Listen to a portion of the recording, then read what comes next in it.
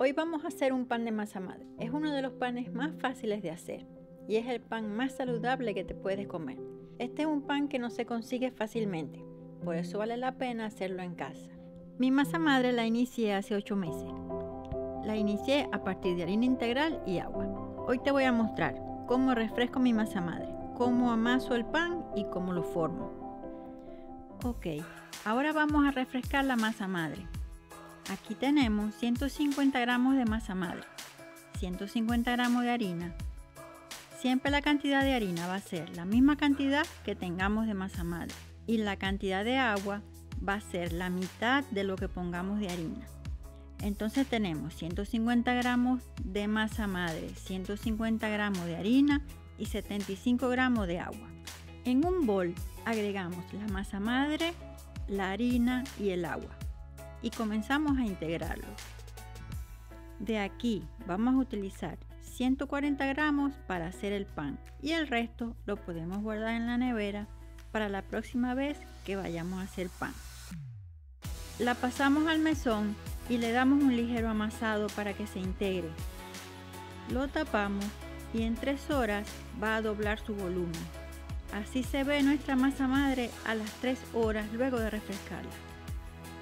Tomamos los 140 gramos que necesitamos para nuestro pan y guardamos el resto. Esta receta también la puedes hacer sin masa madre y la puedes ver aquí arriba. Comenzamos con nuestro pan agregando los 140 gramos de masa madre, 300 gramos de harina panadera, 50 gramos de harina integral que la utilizo para mejorar el sabor y darle color Agregamos 5 gramos de sal y 245 gramos de agua.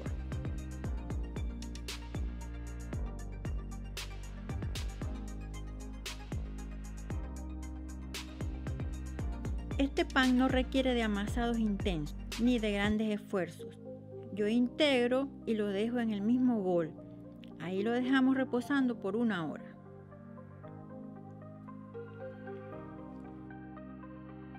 Luego de una hora continuamos con el amasado. Es un amasado muy sencillo y lo hacemos tomando el bol con una mano para sostenerlo y con la otra agarramos la masa por un extremo, la estiramos y la doblamos sobre sí misma. Hacemos lo mismo para cada lado de la masa. Este amasado se repite 5 veces dejándola reposar 15 minutos entre cada amasado.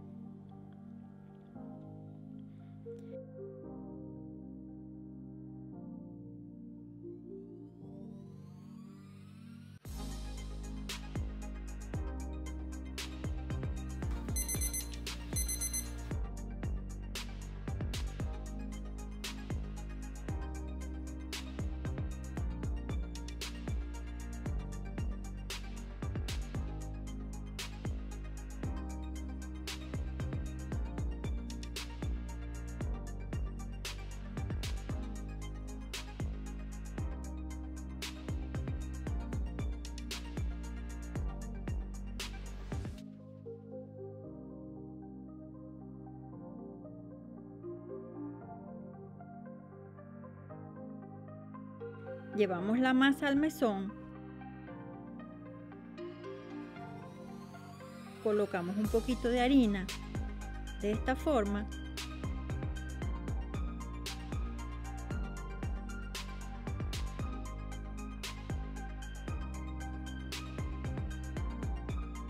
Y le damos tensión a la masa y lo dejamos reposar por 5 minutos.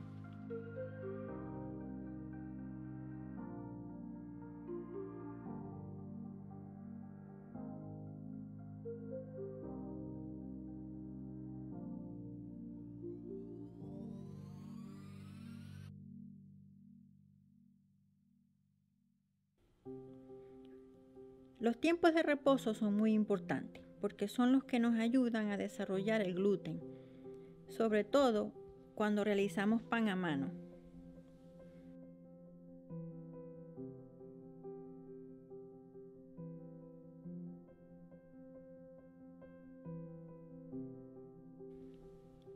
Ahora vamos a hacer el formado de esta forma.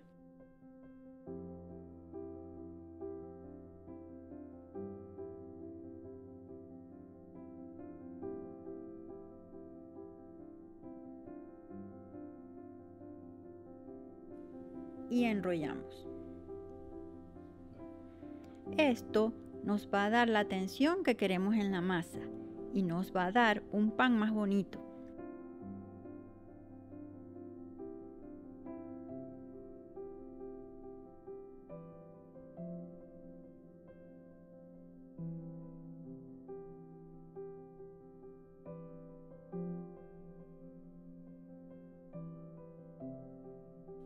Para fermentar nuestro pan vamos a utilizar una taza, preferiblemente ovalada, pero cualquier taza que tengan la pueden utilizar. No tiene que ser una cesta de fermentación profesional. También pueden utilizar un molde para pan de sándwich, en fin, cualquier molde que tengan a su disposición.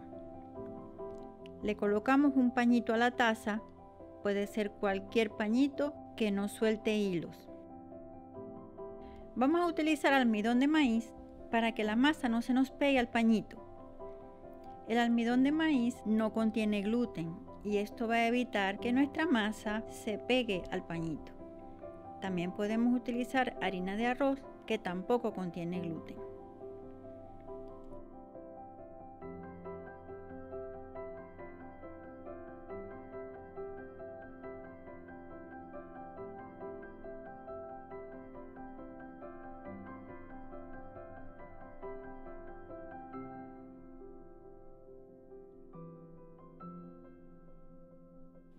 Le vamos a colocar un plástico para que el pan no pierda humedad. Lo dejamos por dos horas aproximadamente para que arranque la fermentación y luego lo vamos a llevar a la nevera. Así se ve luego de dos horas.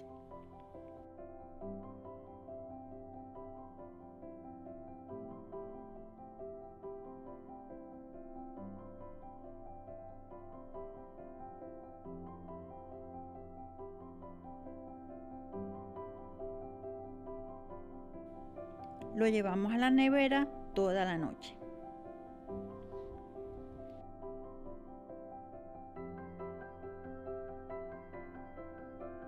Antes de sacar el pan de la nevera, hacemos lo siguiente. Colocamos una bandeja en la parte inferior del horno que vamos a utilizar para colocar agua y crear humedad al momento del horneado. En el centro del horno vamos a colocar donde vayamos a hornear el pan.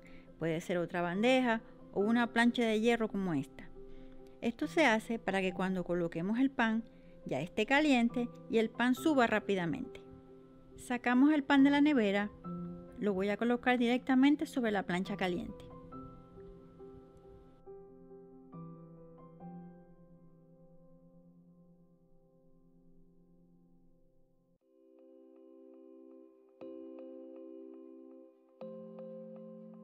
Le coloco un poco más de almidón de maíz y le vamos a hacer el corte. Con un solo movimiento le hacemos un corte de lado a lado. Con la masa fría es más fácil.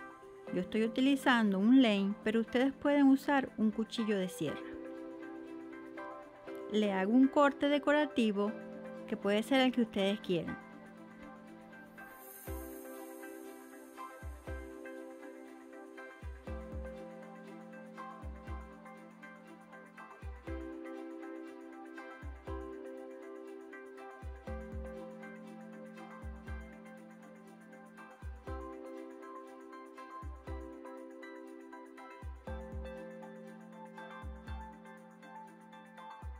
Lo llevamos al horno a 450 grados Fahrenheit por 20 minutos. Para la primera parte del horneado queremos que haya mucha humedad. Entonces colocamos media taza de agua tibia en la bandeja que tenemos en la parte de abajo. A los 20 minutos bajamos el horno a 350 grados Fahrenheit por 25 minutos más, lo que va a dar un total de 45 minutos. El resultado es un pan más saludable, sin levaduras comerciales, es un pan sin grasa, más fácil de digerir, que no cae pesado en el estómago y de muy buen gusto.